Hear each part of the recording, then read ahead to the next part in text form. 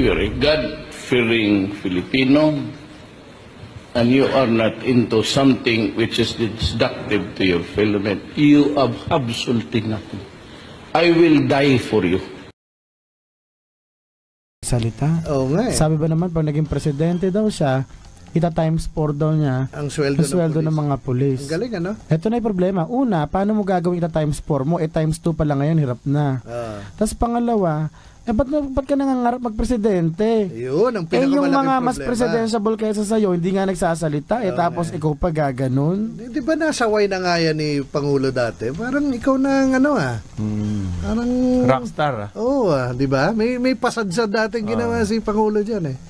Si Bato kasi, mas okay na yung... Alam mo, napunta sa kanya yung attention. Imbes na doon sa programa. Sa nangyari, ang achievements, etc. sa Ah, drug war, yung ano naging programa problema, kasi mga- naging person person Siya na, oriented siya na. ang balita imbes na yung programa. Ang, ma- ang mahalaga, well, yun sinasabi natin kahapon, TP, di ba? Yung PIDEA. 17,000 raids. Siyam na laboratorio na Shabu. Nahuli, naisara. May lumabas ba doon? Na balita. Oo, na balita? Eh, di ba? Yun kasi ang maganda na- doon sa programa na- eh. Doon sa anti-drug. nadidistract dito kay Yun na Bato nga. eh. Ang balita, puro sa kanya na lang. Kaya nga ngayon, wala na yung sa kanya yung drug war, nandun na sa PIDEA. Tingin ko nami-miss ni Bato yung atensyon. Kaya biglang tumira ng four times ang sweldo ng pulis pag ako naging presidente. Teka, teka, sir. Eh, siya ni At, Lacson. ah, eto lang. Sabi ni Lacson, oh, 4 trillion pesos ang kailangan. Kaya, nasa mo hanapin niya. Be, ang unang problema niya, paano siya magiging presidente? Siyempre. Eto sir, medyo masakit, masama na loob sa, loob sa, pe, pe, sasama na naman ang loob sa akin ni Sec Martin neto. Sorry sir, kailangan ko sabihin.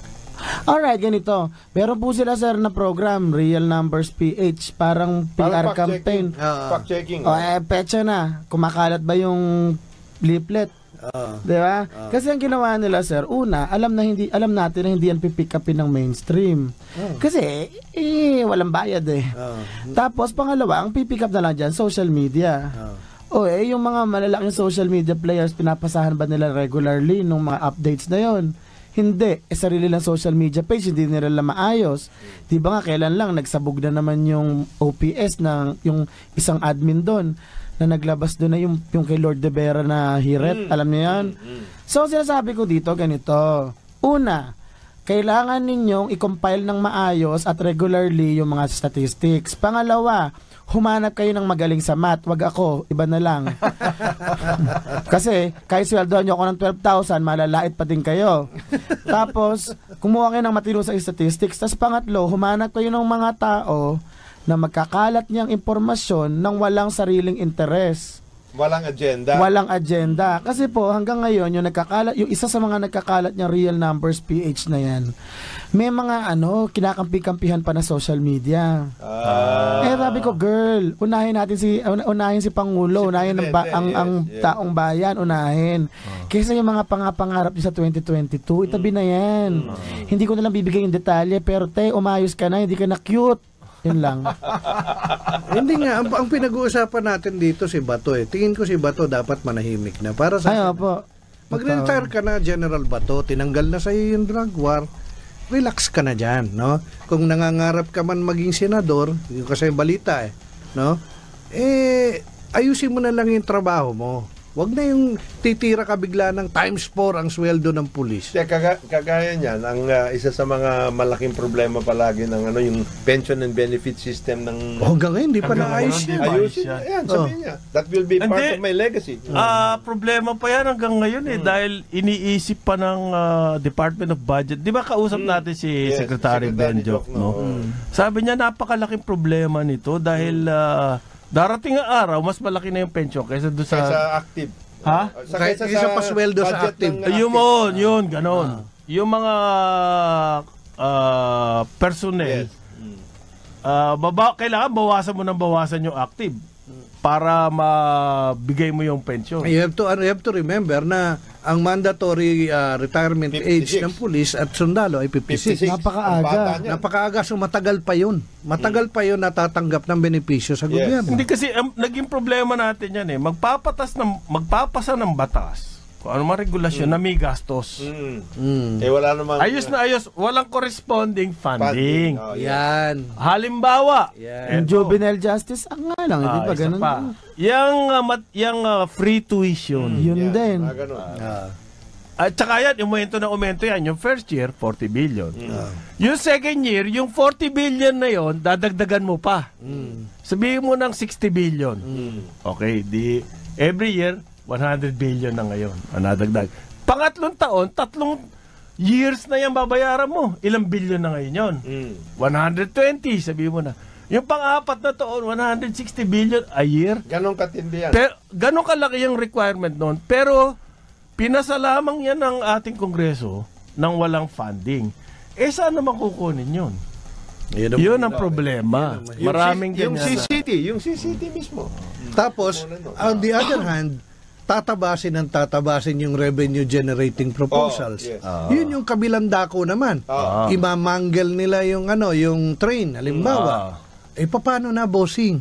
No? Sa, saan tayo kukuha? Saan kamay ng Diyos natin kukunin yung mga Pa- pa- pondo pa- na Paano ka magpapatakbo ng gobyerno na maraming gustong gawin? Alam, For the first time nga, nakakita akong gobyerno may desire. Mm. Di ba? Na magtayo na magtayo na infrastructure.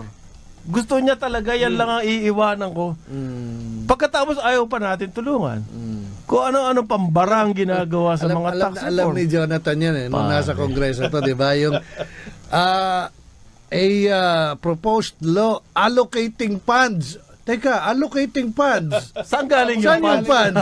Ang daming unfunded mo. Ang daming ganyan. Ang daming Ah, di ba? Unfunded? Unfunded ang Ah, dami. yan ang pinakamalaking problema ng gobyerno. Yung sa akin lang, sir, yung sa free tuition na yan, okay lang. Hindi, intindihan ko na malaking problema sa pera. Pero ang stance ko dyan, bilang idealistic na medyo bata-bata, ah, kahit maganda utang-utang tayo para pondohan lang yan, okay, Okay lang lang. yun, oh. Pero, yung ibang mga dagdag gastos, halimbawa, yung mga Juvenile Justice Act na yan, yung mga, isang, ta- madami pong mga law na walang pera eh, di ba? Maraming Nga, dami talaga. Yun Unfunded yung law. pagdalawang isipan natin. Pero sa akin, yung free tuition, carry lang yan. Okay lang. Hindi, yung example ko lang yun. Kung bakit kung bakit hirap na hirap ang gobyerno dahil pasa ng pasa ng batas.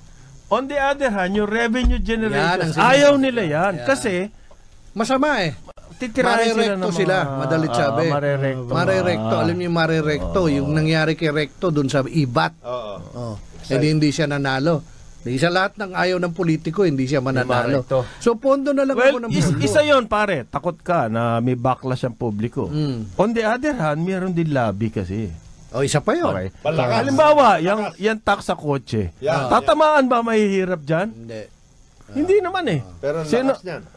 Grabe nanalo. Tinastas ng gusto lahat ng proposal ng Duterte Para administration. itaas yung excise tax ng ano. Sa- Sa tax sa kotse. Sa kotse. Tinastas ng gusto. Oo, nawala yun. Oh. Sino ba nakinabang doon? Mahihirap? Hindi eh. Hindi.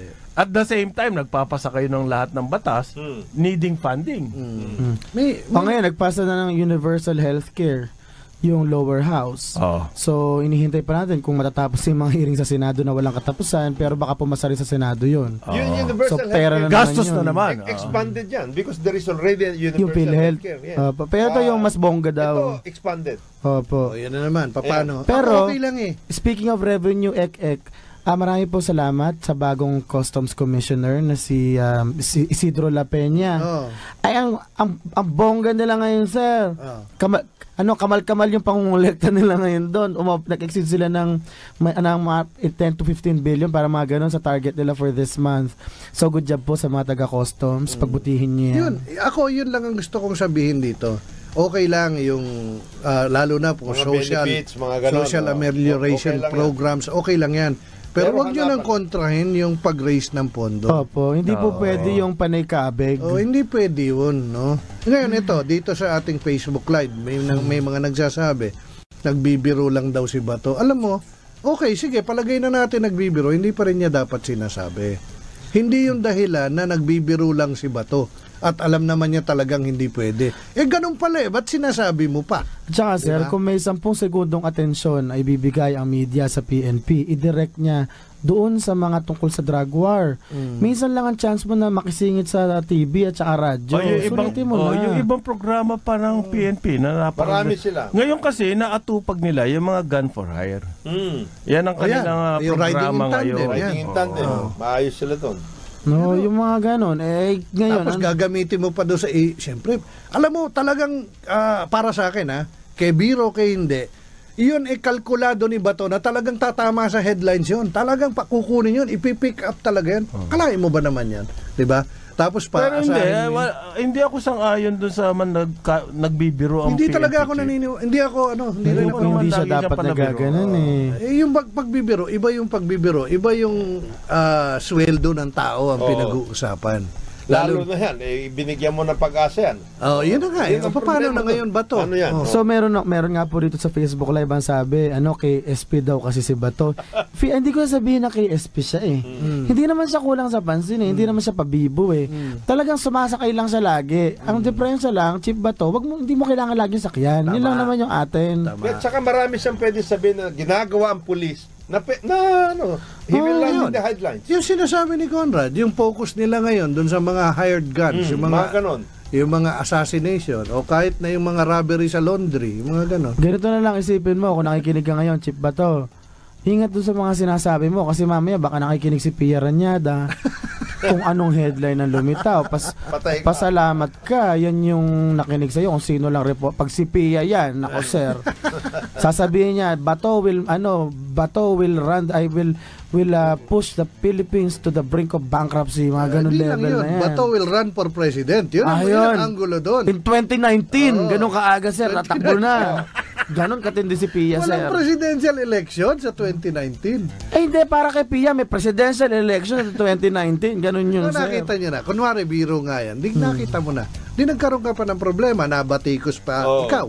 At yung ah, Ang dami yung mo ambition. ang dami mo Ang dami mo ngayon kailangan paliwanag na gawin, di ba? Oh. Eh, ewan ko kung ipagtatanggol ka ni Harry Roque dyan. di ba? Hindi ka pagtatanggol niya, babatuhin ka na ng hollow block. Oh, di ba? Oh. At Nakita mo adobe. Na, nakita nyo na yung resulta, yung, yung basta mema lang, di ba? Basta may masabi lang, mahirap, mahirap. Wag po, mag-iingat, mag-iingat. Kami dito, salita kami na salita kasi trabaho namin yun eh. Pero kung PNP chip ka, dapat nag-iingat ka naman. O sige, gawin na natin karambulista si, si Chip Bato. Ayoko Gusto. Alright. Ay, happy birthday nga pala kahapon kay Kanino? ah, Speaker ah, Nogi. Ah, si opo oo nga pala, no? Si Prospero Nograles. Hindi ko alam kung naglalaro pa ng golf. Kasi dati Naglalaro pa nakakalaro siguro pa yan. eh. Ah, Uh, delicious.